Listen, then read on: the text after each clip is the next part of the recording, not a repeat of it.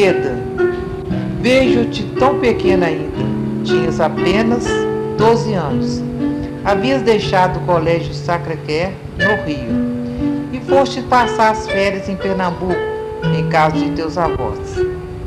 Lá, no recanto lindo da praia, no meio de palmeiras, corrias com tua prima para alcançar o mar, onde gostavas de nadar.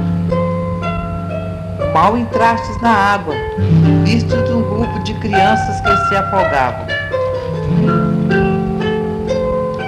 Ouço ainda teu grito. Precisamos salvar as crianças. Atirastes e tua prima atrás. Enquanto ela retirava da água as mais próximas, tu te atiravas para salvar as duas que estavam em maior perigo.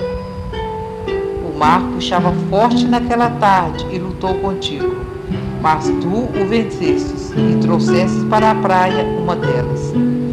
Voltastes em busca da segunda, mas um redemoinho arrebatou-a e levou-a no seu seio. Ah, como lutastes, tu tão pequena e frágil! E a luta furiosa contra o redemoinho voraz começou. Mergulhavas e aparecias com a criança agarrada ao pescoço até que alguém te tirou, te tirou um salva-vidas. A criança agarrou-se a ele com sofreguidão e foi puxada com vida para a praia. E tu, Eda, desapareceste no redemoinho furioso que te levava e trazia num vai vem louco. Por fim, apareceu um moço que, amarrado pela cintura, se atirou para salvar-te. Conseguiu trazer-te até a praia, quando teu coração, ó, oh, que coração teu, pulsava ainda. Salvem a menina, sinto seu coração bater fortemente, gritou o moço. Dois médicos acudiram-te, mas era tarde. Já havias trocado tua vida pela vida das duas crianças.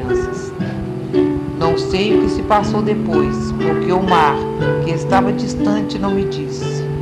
Também a brisa que fez agitar as palmeiras que rodeavam aquele recanto lindo, naquela tarde triste, não chegou até aqui para contar.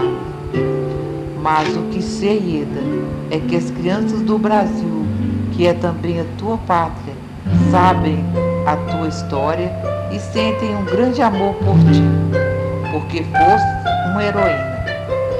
Contam que o coração da, da pátria bate muito forte ao ouvir o nome de uma pessoa que a, que a tivesse tornado maior e melhor. E tu tornas melhor o coração das crianças que te conhecem. Por isso, ao dizerem o teu nome, Eda Bezerra Pinheiro, todos se calam para, em silêncio, ouvirem melhor o pulsar do coração do Brasil. Agradeço a todos que tiveram a oportunidade de ouvir essa história. Triste, melancólica, mas um aprendizado muito grande.